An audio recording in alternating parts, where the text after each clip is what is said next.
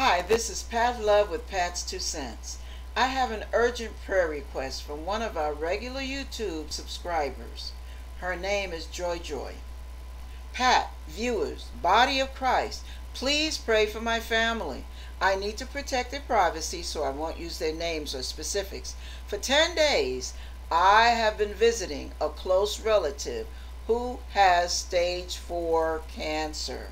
His son also gravely ill with multiple life-threatening conditions lives in the same house. For the father and his wife, they're Christians. The son grew up in church, feels God's hand on his life, but somehow he is blocked from fully recommitting to his Christian faith.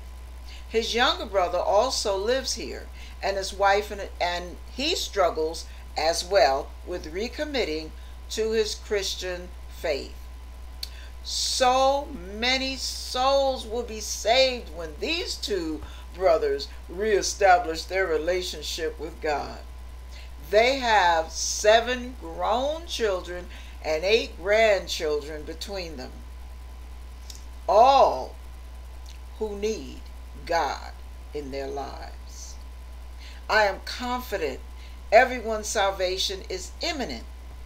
Please agree with me in prayer on this. Satan and his demonic angel agents are attacking this family, trying to cause dissension, discouragement, grief, and despair.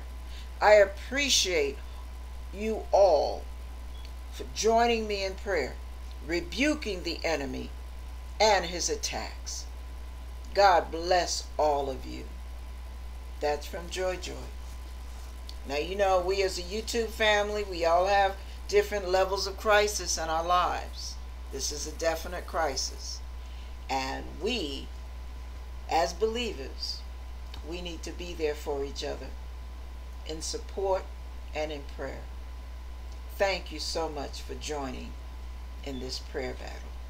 God bless you.